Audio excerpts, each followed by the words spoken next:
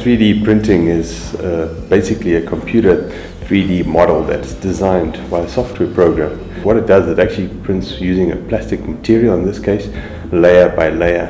Generally builds from one layer to another until the completed object is then completed. This all began by mistake.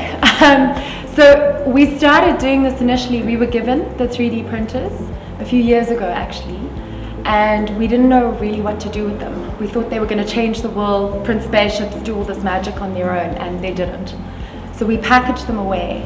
Um, and then through going through online and Google, we came across Enable.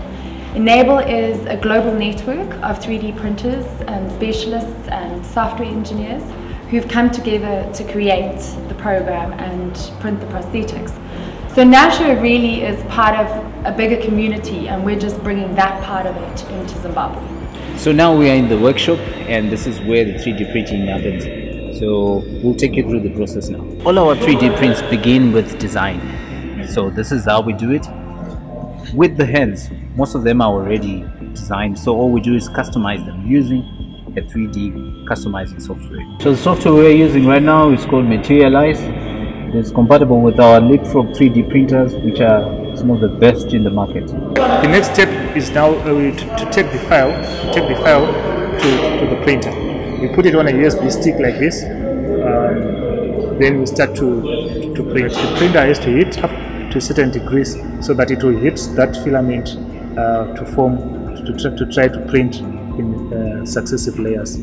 So the process can take hours, even days. As you can see right now we're just printing just the fingers and it has taken us 2 hours 57 minutes just to print 51%. When printing the arm, we don't print it at one go. We print it piece by piece, then we join them together. So the last part is the final touches. So that's the smoothening. We smoothen the product, we remove unwanted material that might have stuck to the product and just make sure that it's in good movement before we send it for quality control.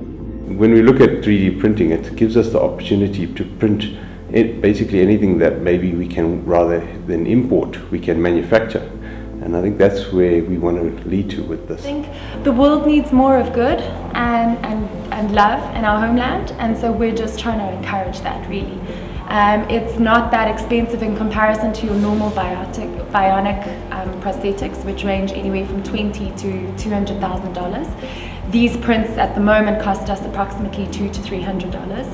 And for a company, that's that's not a lot, but for an individual, that's it's a life-changing prosthetic that we're able to give them and help with. So the the one that we did do um, to Hard Life, who's CAPS United player, when he first drank using his prosthetic and he spilled water over himself actually him and i packed out laughing and he was like i'll do this.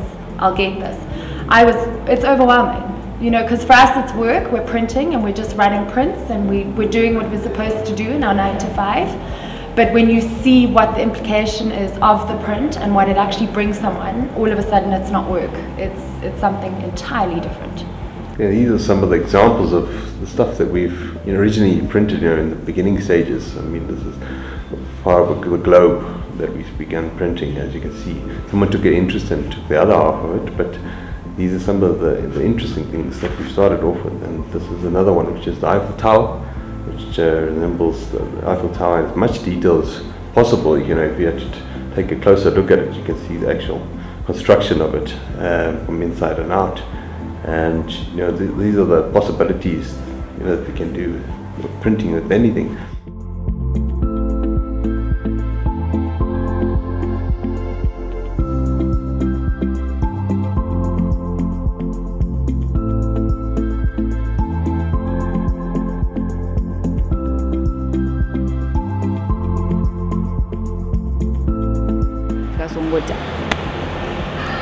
kanti ngomuva on nje ne-life my nephew.